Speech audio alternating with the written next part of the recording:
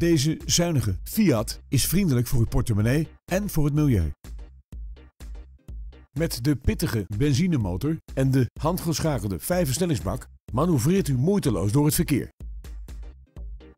De twee portieren geven een ruime instap naar een interieur met cruise control, een navigatiesysteem en een regensensor. Als speciale veiligheidsfeatures heeft deze Fiat bovendien LED dagrijverlichting, een snelheidsbegrenzer en gordijnairbags. De uitrusting bestaat verder onder andere uit lichtmetalen velgen en parkeersensoren achter.